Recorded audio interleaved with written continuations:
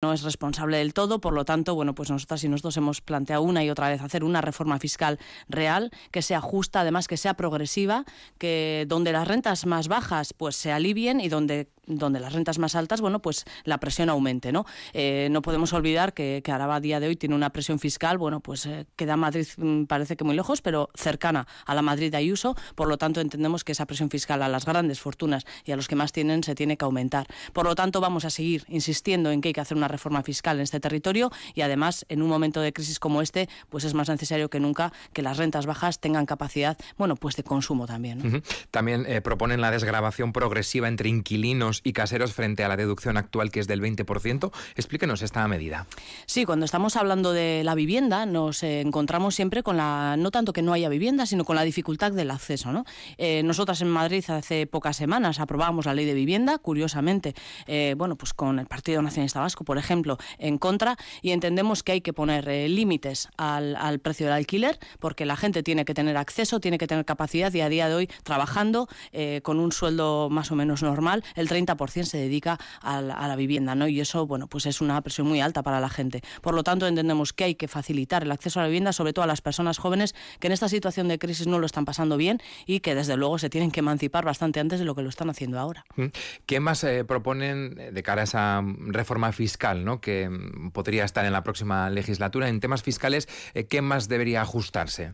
Pues fíjate, de, cara a la próxima legislatura, lo primero que tiene que haber es un acuerdo, además. No se puede hacer una reforma fiscal de espaldas a la ciudadanía, de espalda a los agentes, de espaldas a los agentes. Por lo tanto, entendemos que, como he dicho, eh, lo hemos planteado además durante la última legislatura y lo vamos a seguir planteando. Nos anunciaban hace escasas semanas que querían hacer una reforma fiscal, bueno, un anuncio absolutamente publicitario cuando no tenía ningún sentido plantear a escasas semanas de la disolución de las Juntas Generales una reforma fiscal. Euskal Herria Bildu plantea que hay que hacer una reforma fiscal, pero acordada además con los agentes sociales y con los agentes políticos de este territorio, porque al final nos va, mm, te voy a decir la vida, pero sí que nos va el bolsillo en ello. ¿no? Uh -huh. En materia socioeconómica eh, proponen reconvertir Bertoño en un polo de innovación uh -huh. y producción farmacéutica. ¿Por qué este sector? ¿Por qué la industria farmacéutica? Eh, es verdad que estamos en un territorio absolutamente industrializado. Eh, entonces, lo que entendemos, además, un territorio industrializado y además con dos pilares muy fundamentales en los que se basa en la automoción y en la producción de tubos. Nos parece que solo tener esos dos, eh, bueno, en esos dos sectores, eh, bueno, pues, pues, son los más importantes, nos parece que hay que diversificar. Hay que diversificar la, produ la producción porque esa vulnerabilidad y esa dependencia, además del exterior, pues de multinacionales, pero también de los combustibles fósiles, es en cierta medida peligrosa, ¿no? Si se mueve Mercedes, parece que se nos mueve el territorio. Por lo tanto, entendemos que hay que diversificar y en esa diversificación nos parecía que Betoño es un sitio en el que a día de hoy tenemos un montón de, de empresas vacías, en desuso, eh, y hay que darle salida. Fíjate, en el territorio tenemos 88 polígonos industriales, algunos abandonados y otros en desuso, eh, a los que se le tiene que dar salida. Eh, nosotros hemos propuesto Betoño como un polo farmacéutico, pero desde luego entendemos que en el territorio se puede plantear y se pueden usar esos polígonos para cualquier otra cosa. Incluso se me ocurre, pues para producir, cuando hablamos de energías renovables todo el rato, pues mira, podría ser una alternativa. Hablamos también de reconvertir algunos de esos polígonos industriales que están en desuso, que tienen eh, su capacidad, digamos, muy baja, ¿no? que su uh -huh. eh, capacidad de trabajo está pues, en niveles bastante bajos.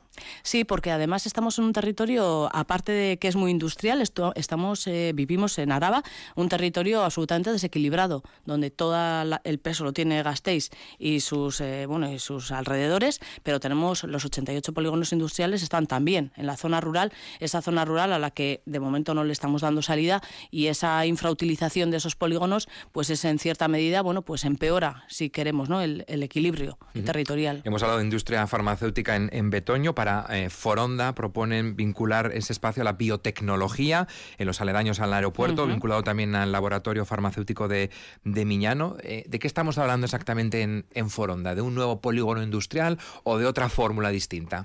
Desde luego estamos hablando de otro modelo. Eh, para nosotros y nosotras Foronda es un ejemplo. O sea, tenemos que reconocer que tiene una capacidad eh, maravillosa, no solamente en pasajeros, sino también en, materiales, ¿no? Y, y en ese sentido creemos que hay que impulsarlo.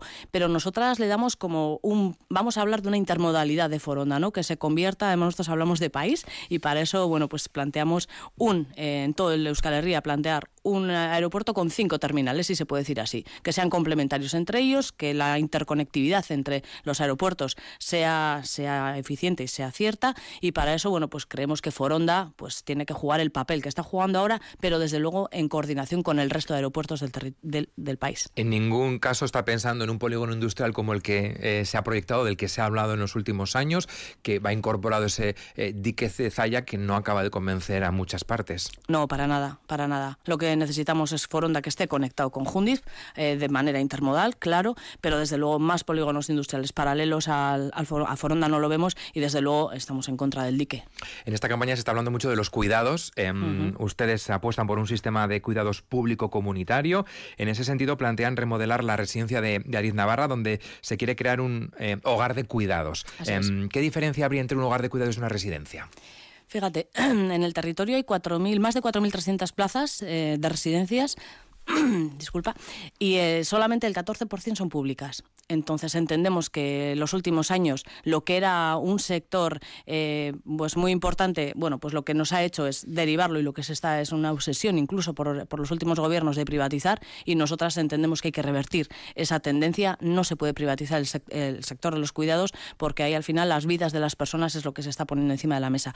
En Navarra lo que planteamos, porque además sabemos que eso no es fácil, ¿eh? nosotros sabemos que ir hacia lo público es complicado y sobre todo revertirlo es complicado. Por eso lo de Ariz Navarra, por eso lo de esta residencia en la que, fíjate, es una residencia pública de gestión privada.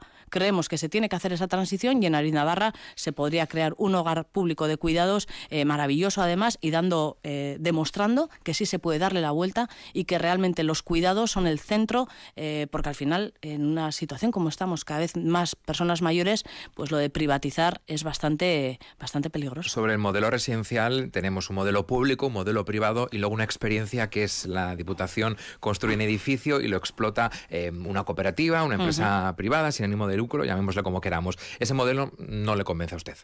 Eh, sí, la Diputación nos, nos, vende una y otra vez que han creado muchas plazas.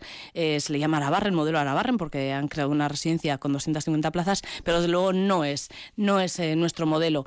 Es verdad que es una residencia concertada y lo que pediríamos a día de hoy en, esta, en este gobierno, que es lo que está haciendo, una norma foral de concertación. Eso significa que en esa norma foral se, se planteen, por un lado, las condiciones de las personas usuarias, cómo van a ser, y por otro lado, las condiciones laborales de las mujeres, normalmente mujeres, de las personas que trabajan en esas residencias. A día de hoy tenemos más de, más de mil personas, mil mujeres trabajadoras de las residencias privadas que no tienen siquiera un salario digno y que cobran, por ejemplo, menos de 600 euros al mes que las personas que están en las mismas condiciones en Guipúzcoa. Eso no lo podemos permitir. ¿Cuál es la propuesta de Euskal Herria Bildu para San Prudencio, para la residencia San Prudencio? Pues eh, mira, decía hace un momento que hay que revertir esa obsesión por privatizar y San Prudencio lo que está siendo es un ejemplo de, bueno, de, acabar, de, te iba a decir, de recortar y, no lo podemos, o sea, no lo entendemos además. Habla de revertir, habla de transformar, reformar. Sí, eh, San Prudencio lo que se está haciendo es, es una huida hacia atrás, ¿no? San Prudencio es una residencia eh, en el centro de Gasteiz, en una localización súper buena y lo que está viendo es unos recortes que fíjate, la semana pasada nos encontramos con una mujer y nos decía, ¿no? Yo trabajo en San Prudencio y es evidente lo que está pasando allá. Eh, se están, eh, se la están desmantelando y nos parece que una oportunidad como es San Prudencio, una residencia pública en el centro de Gasteiz, se tendría que aprovechar desde luego de otra manera. Hablemos también de transición energética porque recientemente hemos conocido ese borrador inicial, ese proyecto inicial del plan territorial eh, sectorial. Si usted es diputada general, ¿dónde incidiría? ¿Qué cambios introduciría en lo que concierne a Álava y que aparece reflejado en ese plan territorial sectorial, con una Araba mirando sobre todo a la fotovoltaica, pero también a la eólica. Fíjate, eh, Euskal Herria Bildu lo ha dicho por activa y por pasiva y además desde hace varios años. Ya hace dos años presentamos la, propuesta Araba Cero Carbono, se la presentamos al Partido Nacionalista Vasco además hace dos años, por cierto, con la intención de debatirla, no hemos tenido respuesta y a día de hoy lo que tenemos encima de la mesa es un PTS, un Plan Territorial Sectorial, eh, bueno, pues que pone prácticamente al territorio en oferta. Y lo digo así porque parece que abre las puertas a que cualquier zona verde es susceptible de colocar, bueno, pues proyectos o zonas industriales industriales o para cualquier otro tipo. ¿no? Nosotras y nosotros nos oponemos a eso y desde luego entendemos que hay que hacer las cosas bien. Y en esta transición energética, en este cambio climático que ya está encima de la mesa, pues hay que tomar medidas en tres sentidos. Hay que reducir el consumo energético, no tenemos otro remedio. Hay que ser más eficientes energéticamente, hay que impulsar en ese sentido también las comunidades energéticas. Y en tercer lugar, como no, bueno, pues hay que afrontar bueno, pues, eh, las renovables y a ver dónde las ponemos y cómo. En este sentido, ¿qué? Bueno, de manera planificada, de manera ordenada, de manera consensuada y desde luego democratizando también eh, y, desde el, y desde el control público todas esas, ¿no? Porque a día de hoy lo único que está pasando es que Araba está encima de la mesa, todo el territorio y llegan las empresas para su propio beneficio colocando parques donde mejor les interesa. ¿No les convence las ubicaciones? ¿No les eh, convence el tipo de instalaciones que podrían eh, colocarse? Hablo del tamaño, evidentemente. Fíjate, decía el otro día el señor González que el 1% del territorio solo se va a poner a, disposición de, las renovables. Y, contradecía a un técnico de gobierno vasco que, por cierto, creo que, creo que desde estos mismos micrófonos nos decía que estábamos hablando del 10%. Ojo, estamos, eh, estamos tergiversando los datos. Y yo soy de la UTADA. En la UTADA a día de hoy tenemos un problema porque si miramos la foto que nos deja el PTS, eh, nos deja una lautada llena de placas fotovoltaicas y desde luego yo creo que tenemos que insistir en que hay que utilizar, hablamos antes de los polígonos industriales, estamos hablando de zonas antropizadas, estamos hablando por ejemplo de norieste y hay formas también de crear energía sin tener que seguir ocupando suelo y además no podemos olvidar también que tenemos que hacerlo de manera complementaria con la producción de alimentos porque si no, eh, el suelo habrá dejado de ser tierra y eso no podemos hacerlo. Ustedes también proponen declarar Parque Natural los Montes de, Vitoria en su totalidad. Entiendo que con esto se descartaría que, por ejemplo, en los alrededores, en las inmediaciones, albergase algún tipo de eh, plataforma de energía renovable e incluso esa ronda sur de la que se está hablando en los últimos días.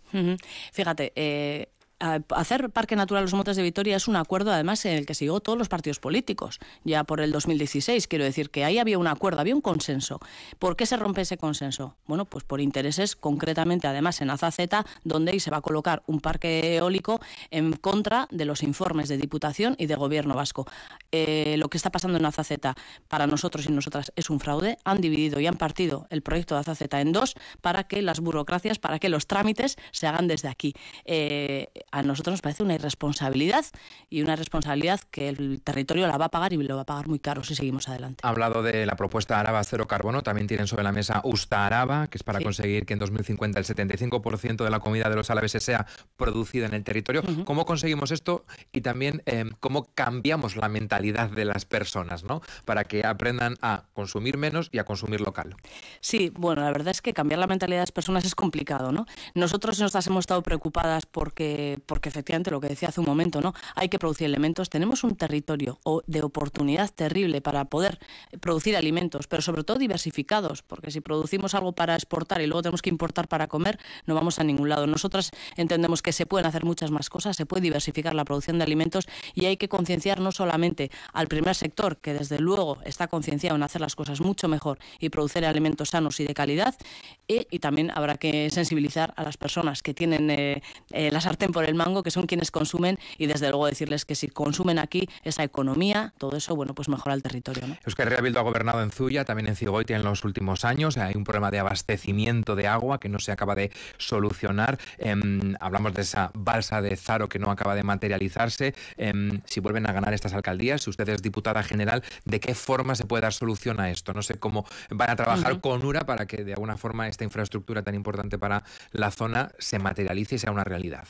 Sí, hemos gobernado y gobernamos en Zuya y en Urkabustaiz, en los dos eh, ayuntamientos, y desde luego esa balsa es urgente eh, ponerla en marcha. Hay URA tiene que dar los pasos y desde luego no puede condicionar eh, en qué sentido y dónde se encuentren ni el color político siquiera de los dos ayuntamientos. Hay que impulsarlo porque además solo hay que cruzar el río Bayas para darte cuenta que el río está seco mucho tiempo y eso es una irresponsabilidad por parte de todos. Esa balsa hay que hacerla cuanto antes para garantizar el abastecimiento de la, de la gente de Zuya y de Urkabustaiz, pero también para garantizar el caudal mínimo ecológico del río Bahías. Eva López Arroya, candidata de Euskal Herria Bildu a diputada general de Araba. Es que recasco y suerte. Vale, es que recasco soy. Okay.